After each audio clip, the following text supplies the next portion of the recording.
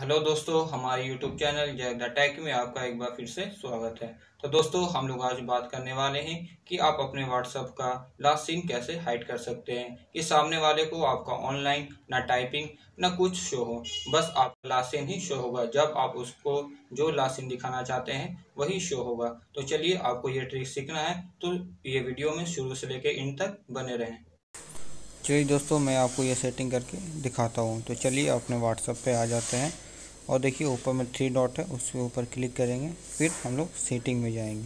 फिर देखिए दोस्तों, आप लोगों के ऊपर शो हो रहा होगा प्राइवेसी एंड सिक्योरिटी उसमें जाएँगे।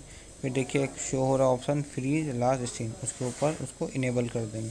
फिर आप बैक आ जाइएगा, देख लीजिए आपका भी टाइमिंग क्या हो रहा है इलेवन बज के थर्टी सिक्स मिनट यही आपको शो होगा। दूसरे के व्हाट्सएप में आपका लास्ट सीन यही शो होगा।